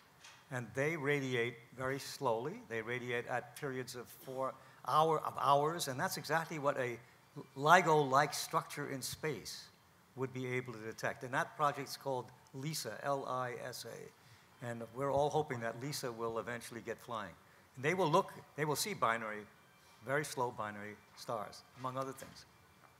Thank you. I'm sorry I misunderstood your question. I, I could add that the other, the other thing, the other sort of source that's not from binary stars are supernovae. So if you have a perfectly symmetric supernova, as Rai said, you wouldn't get any gravitational waves. But if you have some asymmetry in a core collapse supernova, you could get gravitational waves from supernovae as well. Uh, they're somewhat weaker. You might think of a core collapse supernova as an enormous explosion. Uh, compared to these black Mm-hmm. holes and gravitational waves, they're really not all that strong. Uh, but if we get lucky, we can pick up gravitational waves al- also from supernova explosions. There's a question down there. You've been looking at uh, gravity waves in the space dimension. Are there distortions due to gravity waves in the time dimension as well? And if so, what, what sizes are we talking about? And is it possible to detect that sort of thing? Yeah, l- let, let me take that one. Um, in relativity, space and time are inseparable. What you call space really depends on what's called your frame of reference or your coordinate system. So, uh, in most of the analysis, the coordinates are chosen in a way that it's the deformation of space being represented. But you could equally well translate that into a different description in which it was a 10 to the minus 21 distortion of time. In fact, can I, do you mind if I say something? There's an interesting thing that caused this particular kind of thinking about how to detect gra gravitational waves a lot of difficulty in the early days of proposing that you should use light as a way of measuring them. Because people began to think, because they, they thought in two different ways. Uh, I mean, Ed described them as tidal terms that are flying around. You can describe them also as strains, strains in space, and that's the way many of us think about them. But if you combine the two things together, and which is people did do in the beginning, they didn't stay in a particular coordinate frame. They ran into a conundrum, which is the following one. I'll leave you the conundrum. The conundrum is, how can you measure gravitational waves if they stretch space? And, and here you're using light wavelengths to do this. Why don't the wavelengths of light stretch also? And consequently, you will see nothing. And that was an argument that went probably quite deep for many, many years as a thing that got in the way of even proposing this. And the trouble was, you can't think both ways. You got to stick in, you either have to stick with a time-like thing or a space-like thing. You can't mix the two for expressing what's going on in these detectors. That's, I mean, I think, I, I didn't say that very well, but you can't con- swi- switch the coordinate systems. Um, on, on, that you're not allowed to do. You're not allowed to mix, co- mix coordinate systems. In other words, there's room for theorists in this work. yeah. Thank you. Thank you. You bailed me out. I have two questions. Uh, number one is, how did you know this is what you wanted to do? Uh, You're talking about all of us? Why you get into such a difficult area? Is that the trouble? yeah, just the, the general starting of it. Um, And before you do that, the second question, uh, how would you recommend someone who's early in their career uh, arrange their life trajectories such as to have a big impact like this? Lisa wants to answer that. No let, pressure. let Matt answer. Oh, no, Lisa. You, Oh, Lisa. Lisa, Lisa. Why did you pick this field? Yeah, um, I have to say, I kind of picked this field. I mean, the, the true, honest answer is that I picked this field because the Virgo Observatory, the interferometry in Italy, is five minutes from my home place. that's, that's, that's the, the real answer. Would you say necessity was the mother of uh, The reality is, when I then started working on this, uh, this was so challenging. And then I asked myself, you know, what, what could I do and differently? I mean, what, what other field would be so challenging and so rewarding if we arrive at the end? And so to me, this seemed one of the most difficult, I think maybe, maybe this is the most difficult measurement that you can actually do. And the opportunities that this, uh, this measurements open are, are, are incredible. And so I essentially decided to stick to it. even if when I started was now 15 years ago. And yeah, my supervisor told me, oh yeah, we're very close to detect gravitational waves. As everyone in this room, essentially, even people who started 30 years ago, right? Uh, but I, I, I decided to stick to it because it was so challenging and so incredible. And the reward was also incredible. Like if you, you know, every time I think about this, and actually this incredible, you know, media attention gave us the opportunity of, of thinking about this more deeply. Like we are like measuring the space distortion produced by a black hole. Like, is that, this is incredible. this is really incredible. It's much better than Interstellar. I don't know if you got an answer, but it's not an easy, not an easy question. I mean, everybody has their own motivations. I happen to like to tinker, and this is a wonderful place to tinker.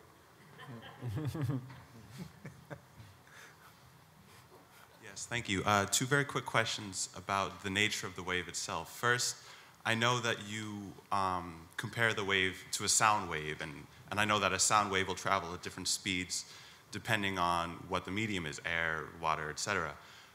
So, my question, my first question would be how does the gravitational wave and its propagation change, whether it's going through the vacuum of space, going through a planet?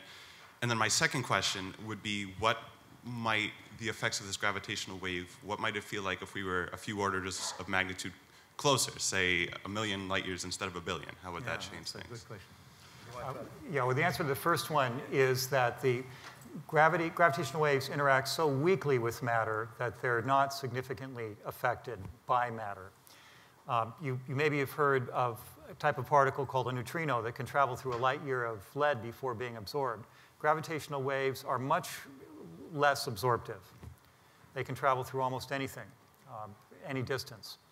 And, and that's because uh, they interact so weakly with matter. You know, there was the previous question about um, whether planets and other systems would exist gravitational waves. Another way of answering it is to say that it's so hard, you have to have so much energy moving so fast because uh, space is so stiff, it takes an enormous amount of mass energy to make the very slightest ripple in space time. And therefore, the, the feedback upon itself is entirely negligible for anything that we can imagine. And sorry, your second question? Yes, if we were, say, a, Oh, a million light years away instead of a billion. Would you feel it? It- it- no, you wouldn't feel it, but it would be a heck of a lot easier to measure.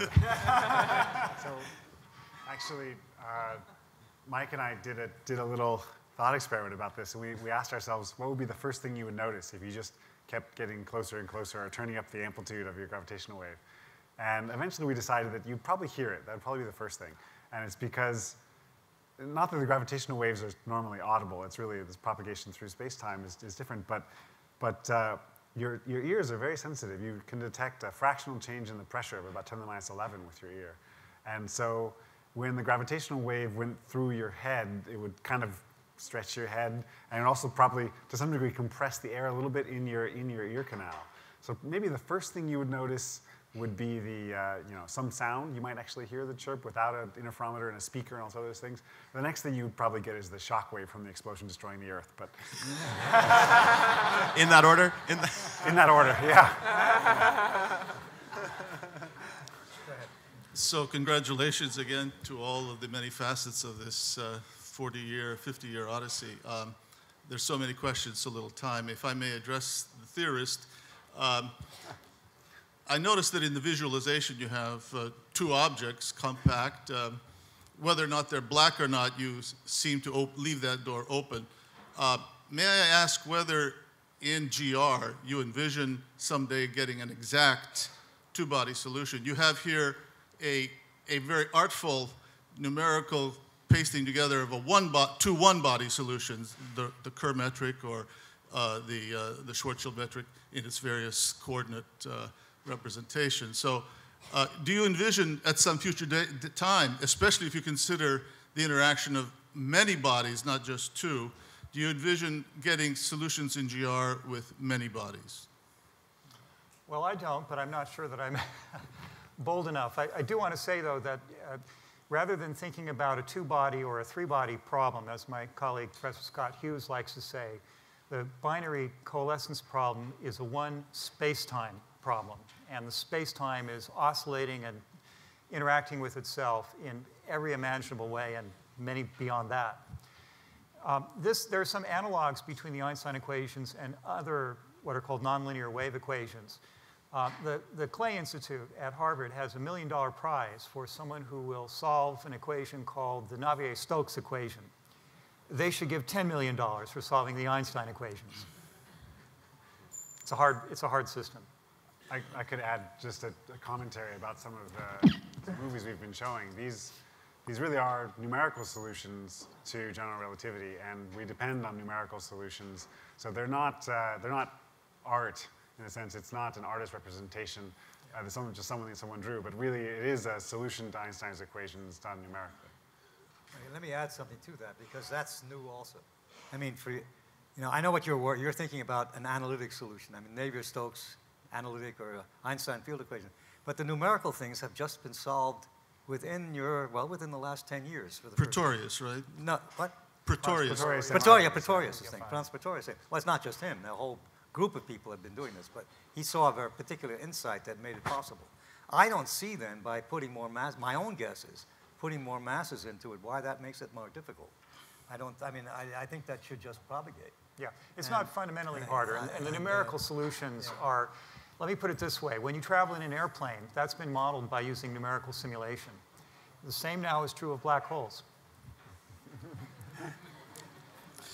But these results, your experimental reduction, uh, uh, would not eliminate uh, enhancements, as you said, to the existing theory, and uh, it, they're- could be quite consistent with alternative descriptions. Well, uh, can I say something? If you look at the paper that, that was published, uh, you'll see an interesting thing. You'll see that the patchwork analytic solutions that have been applied to this problem do very well compared to the numerical solutions. I mean, it just takes a long time to run those numerical solutions. So, for example, when we make our templates that we match against the signals that we're looking at, we are using analytic solutions for most of that because it takes a long time to do all the different cases, cases numerically. But they work very well. I mean, I think the subtleties are, for example, as, as, as Salvo was saying before, to really test the theory, I mean, if you can keep, do better and better by having longer time series. And for you'll need lighter masses. The, one we have, the whole thing is only lasts a quarter of a second. And you don't have many cycles. I mean, a lighter set of black holes, or a black or a big black hole with a small thing running into it, something called an EMRI, are good ways to test the theory because you get then very long time series. And you look and see if the phase evolution of that waveform is correctly predicted by the Einstein equations. That's probably the way the tests will go most, yeah. I can add that Yeah, for, yeah. for most of our analysis, actually for all of the analysis in the paper we published, we use two different type of, of waveform, you know, independently obtained by different groups in different ways. One is called uh, EOB, the other IMR. That's a bit technical. And uh, both of them are tuned, so they are not fully numerical, but they are tuned against numerical relativity waveforms. And after the event was found, there was a further check where people generate a bunch of numerical waveform with the masses and spin around the values that we think we recovered, and we just check on that particular section of the parameter space. We kind of zoomed in and check again that our waveform of two different families were consistent with numerical relativity, and, and they were. With a very high degree of uh, One other conceptual I problem. think we ought to, yeah, I don't want to interrupt. All right, but we fine, have that's other okay. people waiting Yeah. here. Thank so- you, thank you. Okay, okay, thanks a lot, yeah. Congratulations for the amount of work you've done. Uh, it's really incredible and it gives a lot of nice energy for everybody. Um, I had a question concerning uh, the beginning and the end, eventual end of a gra- gravitational wave. We know that they have a beginning, but do you know if they have an end? And if yes, uh, how would you know that we can hear the waves from the Big Bang? oh, end in time. You mean end of each of them, or like in the history of the universe? Li- like Or beginning, rather? Like the one wave has a beginning. Do you know if it has a, an end? If it will dissolve at some point in. Uh, I mean, the, the I think, Yeah. that, Oh, I that think the question is, just goes through. we, we're done with this wave that has caused the chirp. We're waiting for other black holes to do the same thing. Is that what you're asking? No, my No. question is that at some point will, will a wave dissolve once Well, it's... The amplitude goes down as one over the luminosity distance. So it will, no, technically it's, it will continue forever, but this amplitude will go down and down, so we'll no, lose amplitude and energy. Okay, I see it's. uh, Thank you. Please, thanks. Do you think that um, LIGO could detect events that occur in the hidden dimensions of our universe? Oh my God. Possibly relating to dark so energy? and then how would you That's prove sad. something like that? You poor guy, you're going to get that one too. Um, one thing about gravity is that it crosses dimensions, at least in most of the extra dimensional theories. Um, electromagnetic radiation may not, the, the electric force may not, but um, gravity does, for example, in string theory. So there are, there are theories which predict the existence of extra or hidden dimensions where phenomena arise that we cannot see. What we've learned today is that we may be able to hear them through the gravitational effect of masses in those hidden dimensions. So I think the answer to your question is yes, we could, we could uh, detect phenomena in other dimensions. Now, uh, will we know that we've found phenomena in other dimensions? That's a whole other Right. It would be question. hard to prove they came from another dimension, I guess, and not ours, right? Or if, I, I don't know. You know, one of the hopes of, one of the reasons why we're so happy at MIT to be involved in the LIGO project is that we can combine different uh, technologies and ways of studying the universe. And the hope is that uh, before long, we'll find discoveries with LIGO where we have simultaneous measurements from electromagnetic waves, radio waves, X rays, and so forth. That will give us information about not maybe the black holes or neutron stars by direct observation, but from their environment and other things that are happening along the way. That will certainly give us clues about what, what is happening in our universe because we will see it as well as hear it. Thanks. Um, so my question was fairly similar. I was going to ask about whether uh, this recent discovery has had any implications for whether string theory is a valid theory. And then I also have a question about when you are correcting for seismic effects on your interferometer. Uh, so it's suppose an, an earthquake were to happen, for example. Uh, how large of an effect would you need to disrupt your um, measuring system? And would you be able to recover from that? I'll take the first one, you can have the second one. You- You're reversing our theory. roles.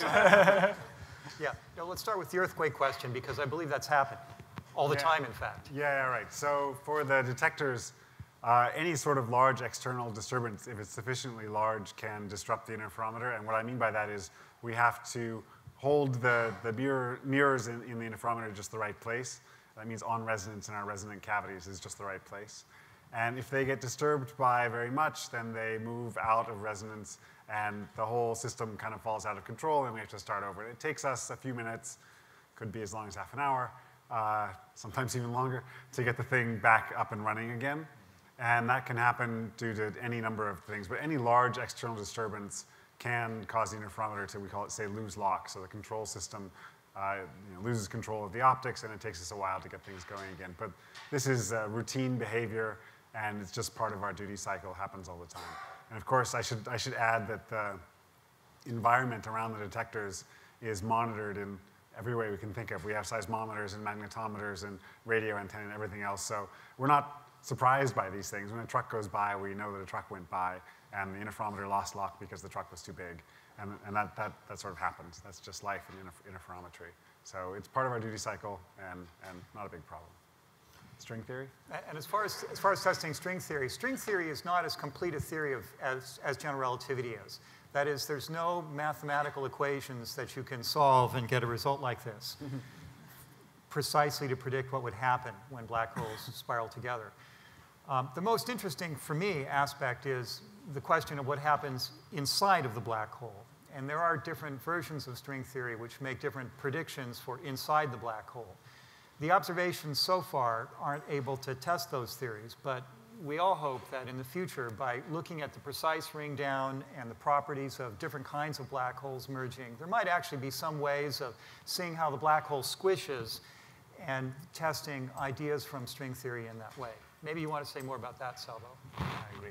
I mean, as far as we know, this proves that GR is kind of correct. I don't know if it proves that string theory is wrong, but you know, we need more evidence for that. Thank you very much. Thank you. Go ahead. Once again, congratulations for this amazing discovery. Um, I had a question. Get closer to the mic, please. Sure. So the experiment, um, as we saw in the presentation, is from 1 billion solar years ago. That's the time that it takes for the gravitational waves um, to reach the Earth. I wonder if there is any way, either via experimentation or um, via theory, to predict or to know or to understand what the black hole could be doing right now, this very moment, or predict what the behavior could be or the possibilities of behaviors could be in the future. Thank you. Let me try to, I mean, that's really depends on what's going on around it. You know, we, that's where, for example, electromagnetic counterparts, which is what, you know, what Ed was just saying about, is very important. If, for example, we were able to tell somebody with very good precision, and we hope to be able to do that, to tell people who have other detectors, like uh, X-ray detectors, gamma ray detectors, optical detectors, that can say, well, look, take a look over there in that part of the region of the, of the universe. We have discovered a black hole pair there. And we ask, why don't you look and see what's going on around it? That is sort of what you're asking. You can then, you can then predict a little better what you might be the life of that black hole. We, we can't do that without just this one event. Doesn't tell me, doesn't tell us the context in which you find the black hole. I think that's what you're asking. Well, there's, there's Yeah. another aspect Uh, of yeah. it, which Yeah. is that every telescope is a time machine. Every telescope looks into the past because we see phenomena whose information has come to us from the past, traveling at the speed of light, even for gravity waves. And I think now we should rename this fundamental constant as the speed of gravity.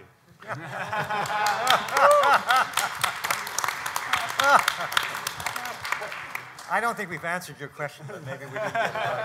yeah, okay. Go ahead, please. Hey, thank, thank you so much for answering our questions and congratulations to everyone. My question is about the relative frequency of these events compared to the other sort of sampling of events on the board here and the amplitude, uh, the magnitude of these events. Um, and since the scale is so hard to imagine, I want to overburden the analogy of ripples on a lake again. Is this a rock being thrown into a crystal clear lake, or is this a sea of events happening all the time? Well, they're all different classes of sources which people are looking for. For example, even LIGO. Well, we, we, we were thought, thinking when we designed LIGO this time around that we would see neutron star binaries first. And that was the thing that we calculated for. We estimated, if you look at the literature, we made estimates for how many of those we would see, and we were surprised to see black holes first. Now, there are other things. It may very well be that uh, there are sources of, uh, of, of gravitational waves which, for example, are completely CW. They're continuous. I'll give you an example. That's one of the things that first a lot of people thought about when pulsars got first discovered.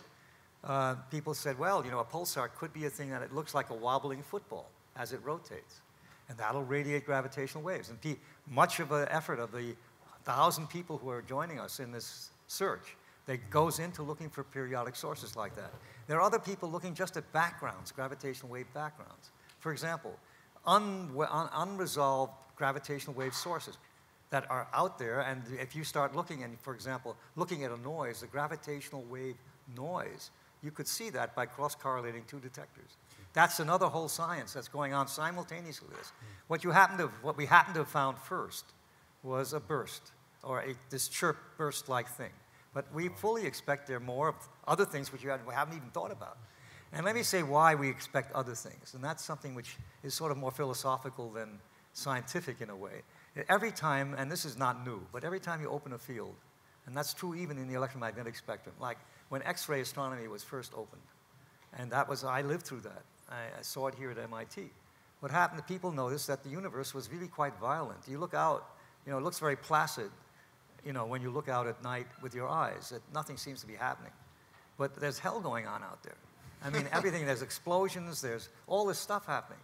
And, uh, and I fully expect, and people who've got this into this field fully expect, there's going to be some new kind of things which you haven't thought about because we never had the ability to see them with this new technique. So I can't tell you what they'll be because that, that's the surprise that's in store for us. But it's a, it's, it would be natural that that should happen. Rai, can I add something? What? Can I add something? Yeah, please, yeah. Yeah, something that, since Yeah. you, you mentioned. We- We're going to get into trouble in a minute. Yeah. yeah, I, I think we're out of time. You're at the time. Uh, Okay. We have to give the room back. Okay. All right. Thank you. Thank you.